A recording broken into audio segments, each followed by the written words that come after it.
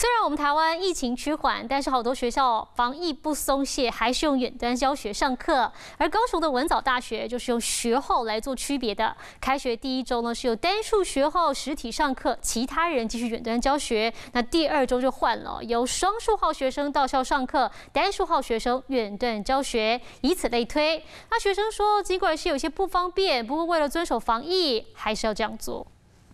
对，第四组还差两个到三。学生在教室里上课，开始实施分组作业，但整个班级不是每个人都能实体上课，而是分成实体和线上两组。我们线上的还有没有谁老师一边顾教室里的学生，也要顾及线上的同学。坦诚教学数十年，第一次碰到这种状况，确实有一点点时间上耗费多一点。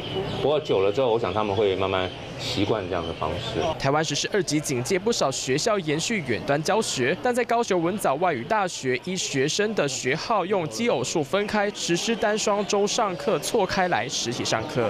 麻烦归麻烦，但是这还是为了我们啊，为了台湾，还是要有固定的防疫距离在。校方表示，如果该课堂教室坪数够大，师生们也可以申请全面实体上课。不过如此一来，学生可能会面临上一堂是实体课，下一堂只能在学校找地方远端上课的窘境。双号，我是下礼拜要上课，那我现在是线上上课这样。我自己是。偏向就是，如果要可以全部实体或是全部呃线上的话，会比较好。安全的一个社交距离，让同学跟老师上课的时候呢，比较没有那种呃疫情的那种恐惧感。校方表示，为了兼顾学生的受教权以及防疫规定，只能实施权宜之计。现在只希望疫情早日过去，上课模式可以别搞得这么复杂。华视新闻蔡梦剧许文南高雄报道。